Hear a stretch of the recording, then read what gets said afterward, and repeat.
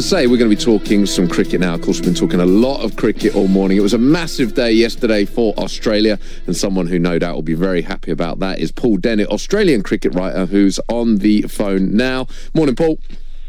Morning, Rich and Patrick. How are you going? Yeah, we're good, thanks. We're good. I'm sure you're pretty good yes, uh, after yesterday too.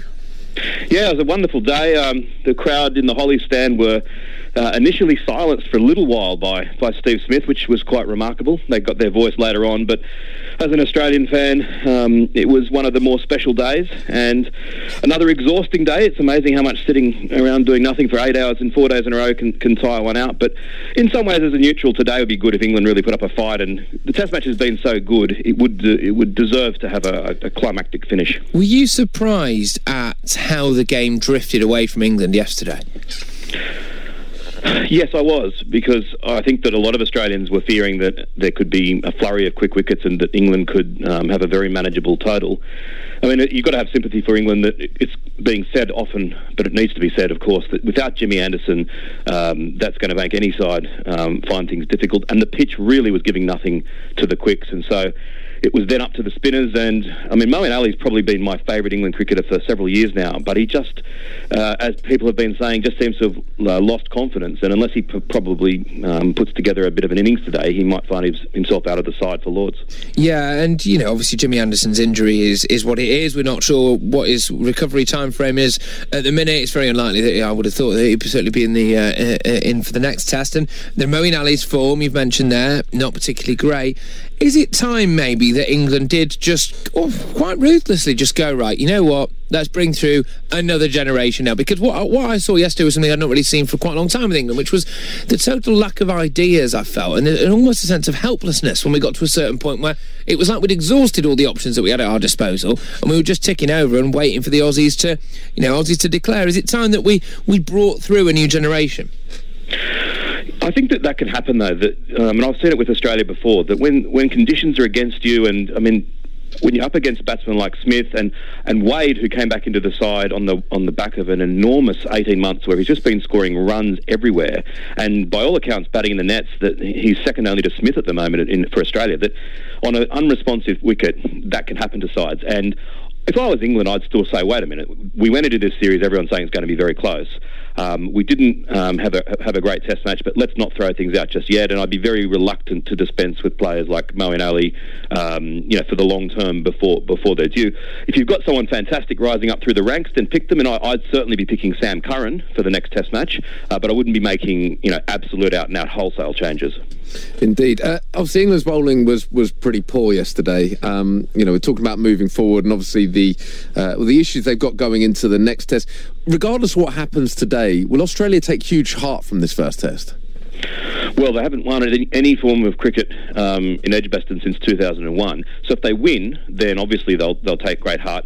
If they don't win, if England get away with a draw, it could actually be that England take away some momentum. I mean, in um, 2009, England held on by one wicket at Cardiff, yeah. a game that Australia really should have won. Australia were, were the better side, but getting away with a draw like that, they did it again in 2010 and 11 in the first test at the Gabba, went on to win their only series in Australia for a long time. So if Australia can't bowl England out today, uh, I think that England will take um, just as much momentum out of this game as Australia.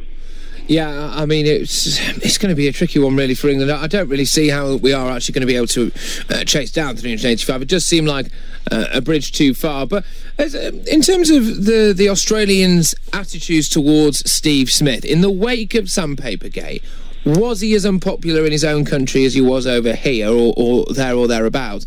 And has he just been fully redeemed now? He was never as unpopular in Australia as he was in England because it was David Warner that was the one that was most unpopular in Australia. But oh, the right. feeling in Australia was that Smith um, was probably thrust into a, leader, a, leadership position too young and maybe not with the right um, characteristics. The, the, the, line that I've heard said is that you know beneath his boyish exterior was you know was masked a boyish interior, mm. and that um, he should have been stronger to stop David Warner and Bancroft doing what they did and that was his greatest weakness in not doing that. But that in itself isn't anywhere near as bad as what they'd done. So his redemption is complete with probably 90% of people. The other 10% uh, in Australia, I don't think his redemption will ever be complete. But I think for most people, it's a sense of joy with what he's now done. Um, if, so if the Aussies do win today, will they go with the same team at Lords? I think that they'd be uh, pro- possibly eager to rotate some of the fast bowlers.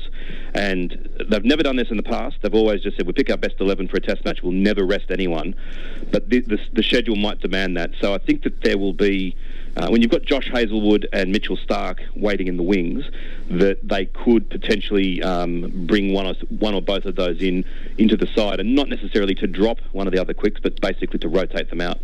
Yeah, uh, well, absolutely. And you can't can't help but imagine that Nathan Lyon is going to have a, a, huge role to play today on you know day five wicket with England needing to uh, be positive and be aggressive. He is, you would have thought, going to be the, the, the key linchpin of um, the, this Australian attack today.